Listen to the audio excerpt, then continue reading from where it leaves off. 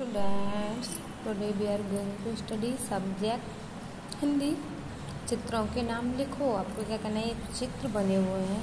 इनके आपको नेम लिखने हैं, ठीक है? जैसे सेब ये क्या चित्र बना हुआ है? सेब ठीक है? तो आपको यहाँ पर सेब लिखना है, सेब।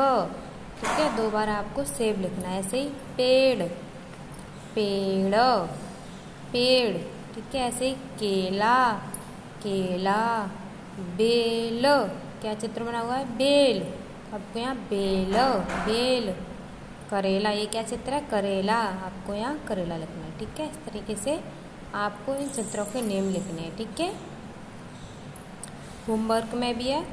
होमवर्क में भी आपको क्या करना है? इन चित्रों के नेम लिखने हैं, ठीक है? जैसे क्या है? क्या है? गैस कीजिए चिल्ड्रन, क्या है ये? वाव जलेबी, ठीक है, आपको यहाँ जलेबी लिखना है।